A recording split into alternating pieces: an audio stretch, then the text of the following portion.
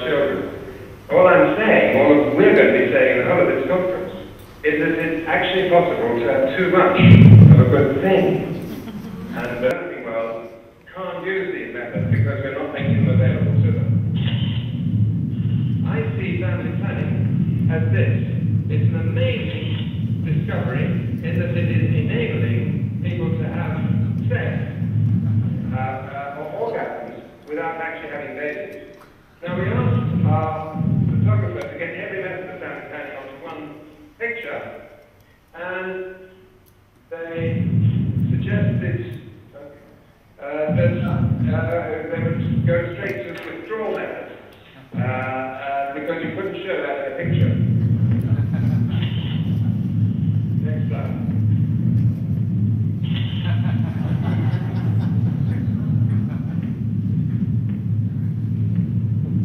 Despite that amazing technology, why is it not used even when available? I, I always say that there are far too many accidents that are caused by humans, and there are far too many humans that are caused by accidents. It is uh, estimated are 80 million unplanned pregnancies in the world, of which 30 million are born mostly in poverty, the rest being abortions. And half of those are in the back streets, with much mortality and morbidity. So crossing fingers happens too often. We need, of course, university still as well. Uh, and this is a nice cartoon from the New Yorker. So in summary, this population story isn't on its own. Controlling human numbers voluntarily without coercion is possible, properly resourced, and yes, we don't think it's the only thing. And it's, it's a mistake for us to suggest it is the only thing, because if you do, you lose credibility out there, and it's not even true.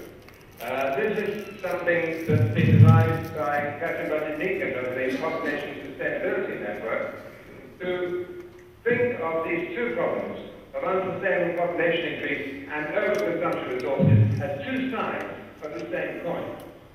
And, and we can be equally enthusiastic uh, about both of them. Uh, it's just a pity that uh, Al Gore, for example, uh, when he talks about population increase, tends to talk about it as a given that we've got to adapt to. Uh, many environmentalists do that. We in this room know that there's something we can do about it. We can push the open door of unmet need. We can give women in Africa and elsewhere their choices of contraception. Uh, and it doesn't have to be coercive, but it does have to be done. And what we would like, therefore, is both sides the coin to be addressed simultaneously. Uh, Al Gore called it an inconvenient truth, global warming. I think it's an inconvenient truth, but a very definite truth, we need to take all possible steps to stabilize. Now, I, I gather you haven't been hearing me very well, and I'm sorry about that. Uh, it's been suggested that I stop at, at this point, so I have some more things to say, but I will stop now, and let's see if it's possible to have a bit of a discussion. So thank you very much for your attention.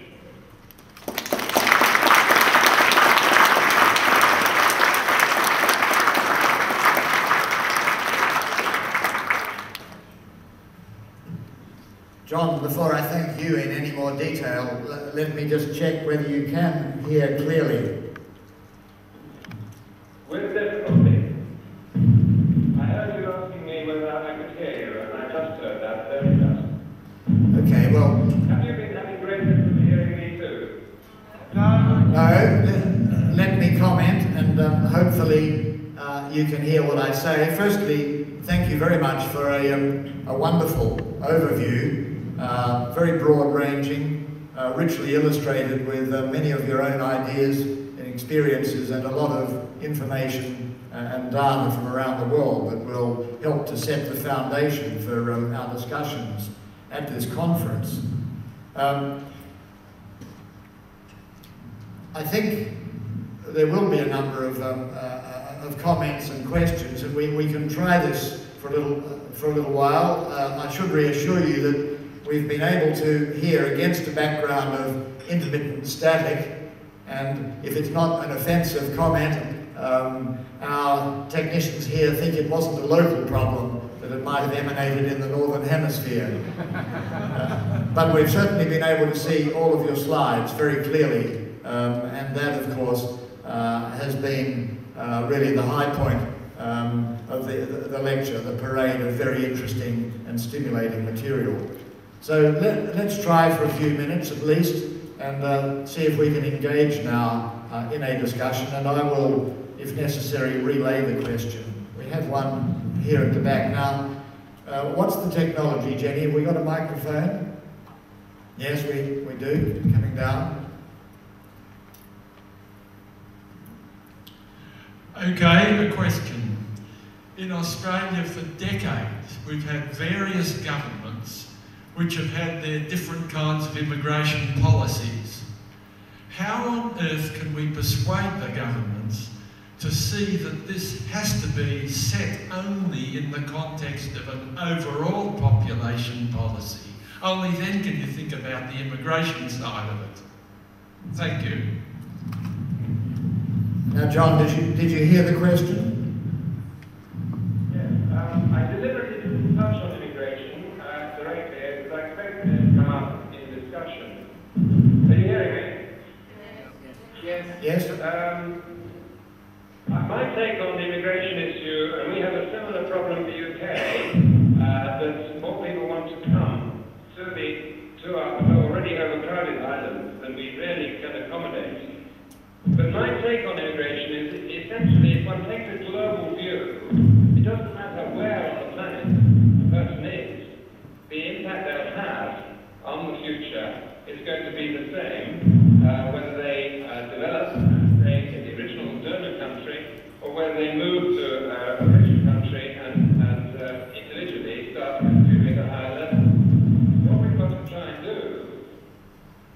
take the world as a whole and help people to develop their own countries uh, out of poverty, and then there would not be this pressure to move to other ones. In the case of Australia, uh, on that video, you might have got the view that there's plenty in Australia.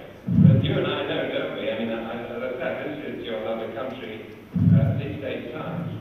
The, the centre of Australia is dry as dry. In fact, you're the driest continent of all. And it's in my opinion, right, that most of you there, that 21 million Australians is just about as many as you can properly care for. Okay, do we have a follow-up question? Yes, two here on the, um, the left-hand side. Jenny?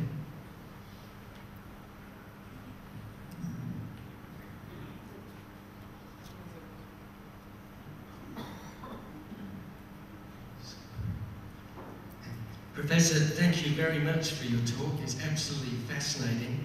Um, my question, however, relates to how we can influence the public and politicians, that is to get some traction, in order to move the whole debate and the paradigm in the direction of sustainability.